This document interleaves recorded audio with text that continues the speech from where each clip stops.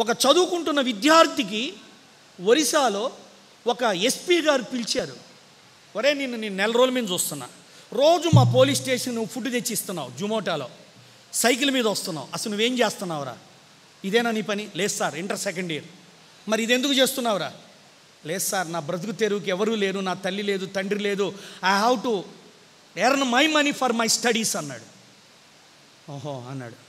తెల్లారి ఆ కుర్రోడు వచ్చేటికల్లా ఒక మోటార్ బైక్ కొనిపెట్టి మోటార్ సైకిల్ ఆడబెట్టి ఒరే నువ్వు చదువుకోవటానికి టైం సేవ్ అవ్వటానికి సైకిల్ మీద ఫుడ్ డెలివరీ చేయిద్దిరా రేపటి నుంచి ఈ బండి మీద డెలివరీ చేసి నాకంటే గొప్ప స్థితిలో ఉండాలరని ఒక ఎస్పీ గారు ఒక సాధారణ విద్యార్థికి అతను చేస్తున్న కష్టానికి సమయం మిగలాలనే సదుద్దేశంతో తన సొంత డబ్బులతో ఒక బైక్ కొనిపించాడు.